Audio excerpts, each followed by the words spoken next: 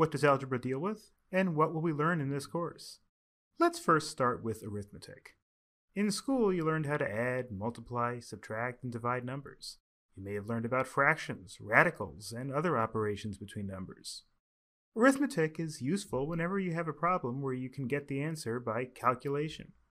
For example, suppose you're going to a store. You look up all the products that you're going to buy in a magazine and record their prices. How much money do you need to take with you so that you have enough to purchase all the products? This is a basic arithmetic problem. You add up all the numbers, and the resulting number is the answer to the problem. In algebra, we rather deal with problems where we need to find the answer without being able to directly calculate what the answer is. Algebra is like a number puzzle. We deal with problems where we have to figure out what something is from the condition that it satisfies. Here's an example of an algebra problem. In the ancient world, weight was determined by a balance scale. On one side of the scale, say the left side, we place the object we want to weigh. And on the other side of the scale, we place equal weights so that the scale balances. For illustrative purposes, say that the weights were equal sized stones. Whenever we weigh something on this balance scale, we get the weight of the object in terms of stones. For instance, if on the left side we have an apple, and on the right side we have one stone with the scale balanced, it will mean that the apple has the same weight as one stone. This would mean that one apple, assuming that all apples are equally sized, would be one stone. Let's say instead that two apples are balanced with one stone equally. This would mean that one apple, assuming all apples are equally sized again, weighs a half a stone.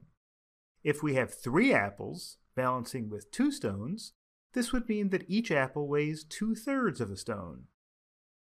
An arithmetic problem involving scales can be the following problem. Say an apple weighs half a stone and a pear weighs one third of a stone. If a person bought 10 apples and 15 pears, how much is the total weight? This is not a puzzle. We know exactly what we have to do. We know how to add fractions and how to multiply them. So to get the answer, we get 10 times a half, that's for the apples, and 15 times a third, which is for the pears. That gets you 5 plus 5, which is 10 stones altogether. This is not an algebra problem because all we have to do is calculate from the information given to us. Now compare this problem to the following problem. Suppose that 7 apples and 2 pears balance with three stones. We also know that two apples and one pear balance with one stone.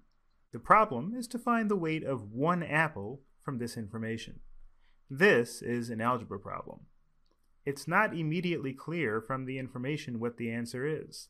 It's sort of a number puzzle. Find the numbers for the apple and a pear, in terms of their weight, that will make those two conditions true. We can try to guess the numbers and see if they work, but that's not easy.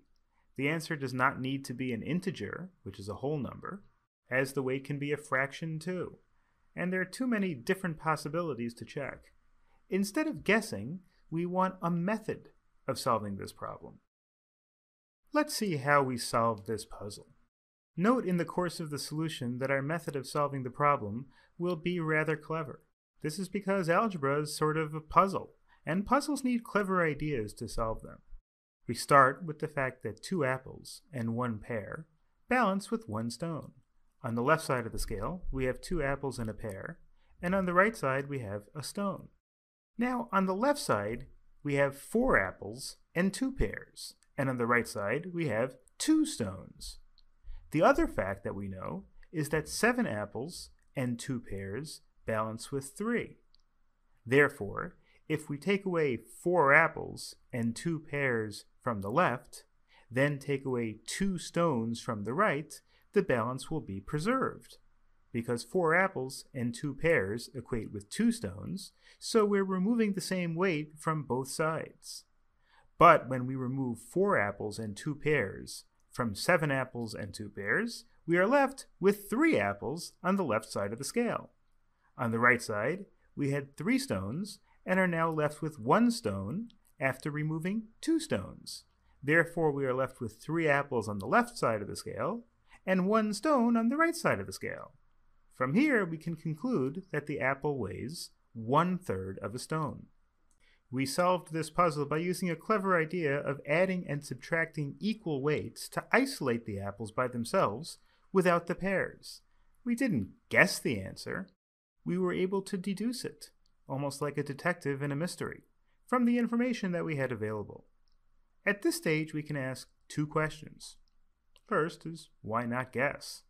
Why not try integers, say 1, 2, 3, and 4, and so forth, for the weight of the apple and see if it works?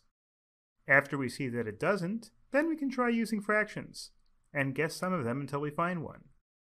The other question is, how am I supposed to come up with that idea to solve this balance scale puzzle? There's no way I would have thought of doing that independently. The answer to the first question is that it's usually a bad strategy. Sometimes guessing or playing around with numbers does work, and in that case, you found the answer. Other times, there are so many different choices to guess at that you'll have a very hard time trying to get the answer by guessing at it. If we have a general method of approaching such questions, then we can get the answer pretty quickly. To answer the second question, that's exactly what this course is about. The course is to teach you algebraic thinking.